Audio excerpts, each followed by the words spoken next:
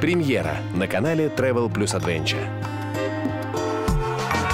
В современном мире сплошных стрессов Каждый день приносит нам поводы для переживаний.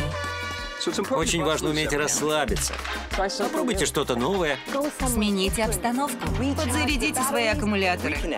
и подключитесь к жизни заново. Анита посмотрит в глаза своему страху во время дайвинга с белыми акулами. А Доминик получит всплеск адреналина, покоряя реку Янцзы.